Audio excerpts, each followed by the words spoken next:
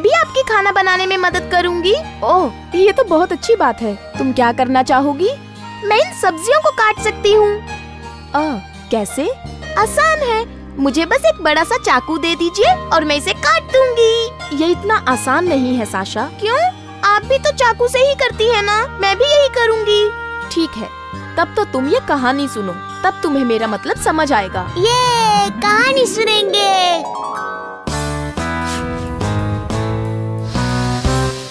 बहुत पहले एक जंगल में एक शेर रहता था। वो जंगल का राजा था। अब वहाँ का प्रधानमंत्री बूढ़ा हो रहा था और अब एक नए प्रधानमंत्री को चुनने का वक्त आ गया था। मैं किस तरह एक नए प्रधानमंत्री को चुनूं? ओह, मैं समझ गया। मैं उनकी परीक्षा लूँगा। अगले ही दिन शेर परीक्षा लेने को तैयार हो गया। अब मैं ये कुल्हाड़ी यहीं रख देता हूँ और झाड़ियों में छुप जाता हूँ। और जल्द ही मुझे अच्छा कैंडिडेट प्राइम मिनिस्टर की पोस्ट के लिए मिल जाएगा।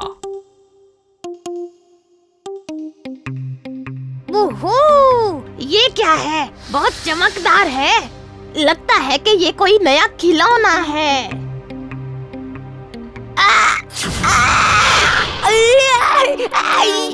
अल, मेरी पूछ मेरी पूछ। ये कोई खिलौना नहीं है ये तो खतरनाक राक्षस है।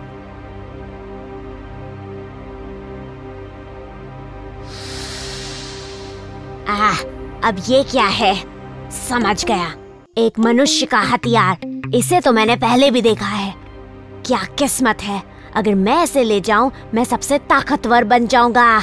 मैं समझ गया हूँ। मैं इसे ले जाऊँगा और जाकर गाँव के सारे किसानों को मार दूँगा। तब उनकी सारी मुर्गियाँ मेरी हो जाएँगी।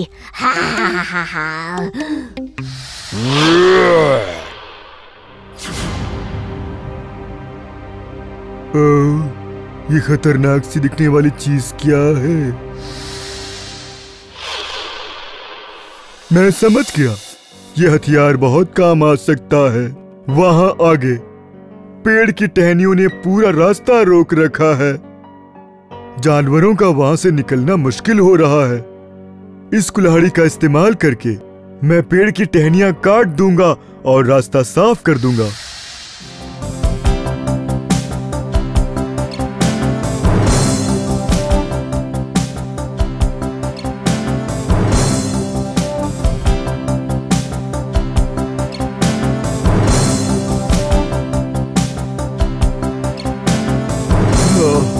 अब सारे जानवर ये रास्ता इस्तेमाल कर पाएँगे। क्या तुम बता सकते हो बच्चों कि कौन प्रधानमंत्री बना होगा? मैं बताती हूँ मैं बताती हूँ बैल। हाँ कुल्हाड़ी इस कहानी में शक्ति है। बंदर को पता नहीं था कि कैसे इस्तेमाल करे और लोमड़ी गलत कामों के लिए इस्तेमाल करना चाहती थी। सिर्फ़ बैल ने इसका इस्तेमाल सबकी भलाई के लिए किया। एक लीडर ऐसा ही होना चाहिए जो दूसरों की भलाई के लिए अपनी ताकत इस्तेमाल करे। कितनी अच्छी कहानी थी माँ। तो इसका मतलब है कि किसी चीज़ के इस्तेमाल से पहले हमें उसके बारे में पता होना चाहिए। नहीं तो तुम भी बंदर की तरह हो जाओगे।